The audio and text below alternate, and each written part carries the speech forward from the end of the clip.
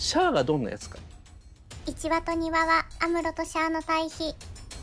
大人たちを手玉に取る存在として表現されています。今までの悪役とは違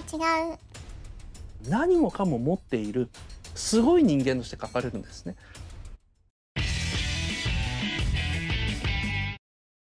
あの3人ですね。第1話でジオンの先発ですね武力偵察の人間が、えー、行ったんですけども1人だけですねスレンダーというやつが帰ってきます。でそれに対するシャアのシーンです。あの怒らないんですねシャア・アズナブルが。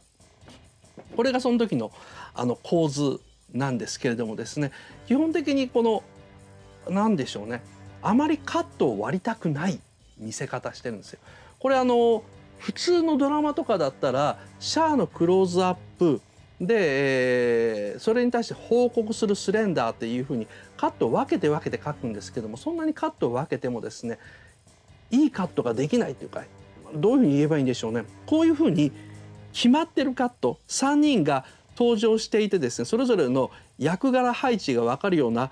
あの構図っていうのはなかなか取れないんですね。でそれを無理やり3つ3人とかに分けちゃうとですね絵面が平凡になってしまうんですよ。でそれよりはこのシャアが振り返りながら話していてで中央に何も喋らないドレンがいて奥に、えー、報告するスレンダーがいるとこういうふうな構図を取ることによってまあ絵としては止まってるんですけどなかなか緊張感のある配置になっています。えー、セリフの応酬ですね。シャアのセリフ。私は君とデイムのあ君は私とデニムの命を守ったのだと。気にすることはない。スレンダー軍曹っていうふうにまずローをねぎらいます。本当を言えばいわゆる失敗してきただから叱責してもいいんですけどもこれまでの悪役と違うところを見せるんですね。君は私とデニムの命令は守ったんだ。小隊長の命令を守ったんだ。気にすることはない。スレンダー軍曹。それをスレンダーがありがとうございます。少佐でシャアが連邦のモビルスーツが君の言う通りの性能とはやや信じがたいがっていうふうにちょっと小バカにしたように笑って話します。とスレンダーがお気の毒ですが自分は確かにというふうに言い返すんです。ところがこの言い返しをしてるのを遮ってシャアがですね急に「少尉」っていうふうにドレーに呼びます「少尉は？レーザー通信回路を開けドズル中将を呼び出したい」ドレーンはい。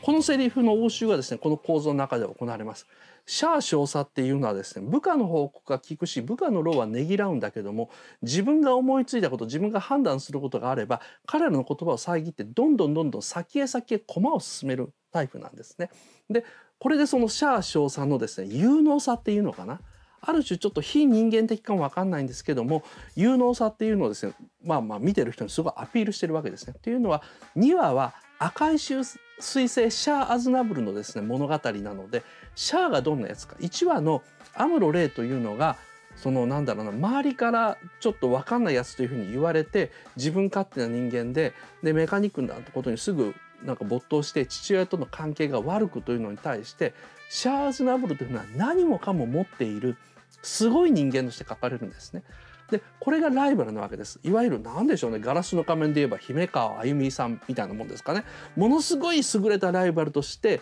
大人たちを手玉に取る存在としてあの、えー、表現されています。ということでレーザー通信をか、えー、開けドズル通常を呼び出したいっていうふうに自分よりはるか年上のおじさんに命令して「はい」って答えたところでカットを切り替わってですねまああの今ですね、えー、怪我してるパウロ船長のところのシーンになります。